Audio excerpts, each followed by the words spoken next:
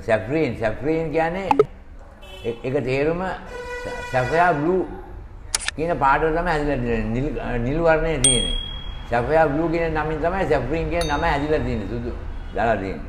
සුදු දාලා තියෙන්නේ. ඒක ඇයිලා මේ අන්නජිමටයි මේ කුලේට අයිති ගලක්. ඒක නේ ඉතා දුර්ලභ මණික් ගලක්.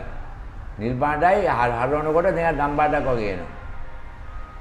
ඒකයි මේ ඔය සෙරෙන්ඩිබයිට් කියන කණිජයේ දෙකෙම තියෙන එකම වර්ධනාංකය තියෙන්නේ. දෙකම එකම වර්තනාංකය සර් ඔව් 1.7.0 1.7.6යි.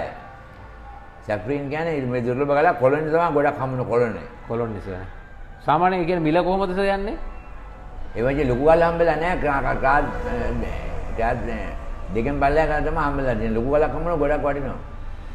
කා 10 ගලක් නම් ඉතින් මේ රස 50කට වටි. එහෙම වටනවා සර් ඔය ලොකු ගලක්. පොඩි ගල් ඉතින් ඒ යන්නේ. නිසා අපිට දැන් අප දැන් අපේ ආධුනිකයෝ ගොඩක් මේ අපේ වීඩියෝ බලන අය ගොඩක් ඉන්නවා සර් මැනික් ව්‍යාපාරේ ඒගොල්ලොන්ට දැන් සැප්‍රින් ගලක් කියලා කොහොමද සර් අඳුරගන්නේ? කියන්නේ වර්ණයෙන් හෝ මොකක් හරි වර්ණය තමයි. වර්ණය කියන්නේ නිල් පාටයි ආ, සැබෑ බ්ලූ කලර් තියෙන නිල් පාටයි හරනකොට අන්ට දම් පාටක් වගේ එනවා. හා හා සර් ඒ රෆ් එකේ අපිට ඒ ඔව්. ස්වභාවය බලා